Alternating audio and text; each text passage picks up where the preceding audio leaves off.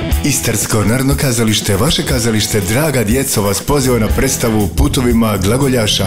U četvrtak 16. i petak 17. veljače u 10 sati, te u subotu 18. veljače u 18 sati. Autorica i redateljica Samanta Milotić-Bančić. Igraju članovi dramskog studija INK, David Rojs, Sanela Hasanbegović, Ana Rumak, Valter Roša, Matija Ljuba, Tisa Kliček, Anastasija Garić, Erik Skoko, Lucija Brkić, Leonarda Sep, Karla Medakov, Filip Josip Turk, Gaja Komšo, Filip Lugarić. Putovima glagoljaša 16. 17. 18. veljače. Vidimo se u INK.